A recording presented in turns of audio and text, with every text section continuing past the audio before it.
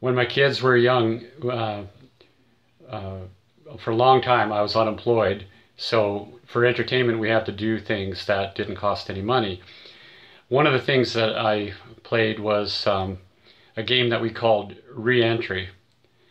And the deal with Reentry is uh, it's it's similar to uh, the floor is lava game that you play inside, but outside what I did was is we had a toboggan and we would you know drag each other around in the yard and we had a little we had actually a, a, a toboggan hill behind us. It was a, a, a berm a sound barrier.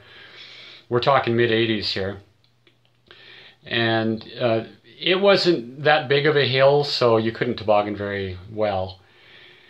So what i did was uh, i would pull my kids one at a time on the toboggan as fast as i could up our driveway and at the end of the driveway, there was a pile of uh, shoveled snow, and I'd drag them over that, so it's a big bump. And then after that, I would pull them, I would be backwards, and then in front of me would be the, the toboggan that I was pulling. And then I would make a real tight little donut uh, circle, and the toboggan would be swinging around me in centrifugal force and it would throw off anybody who happened to be on the toboggan.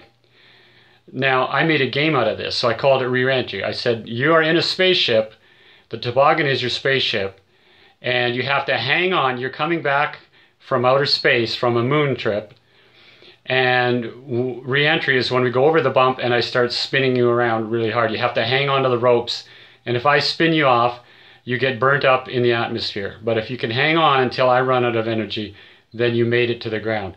So all three kids gave it a try. The girls weren't strong enough to hang on, so they burnt up. Uh, Mike was getting pretty big, and he could hang on to the very end. I couldn't uh, spin him off no matter how hard I tried. So Mike was the only one to uh, make it through re-entry and back down to earth safely.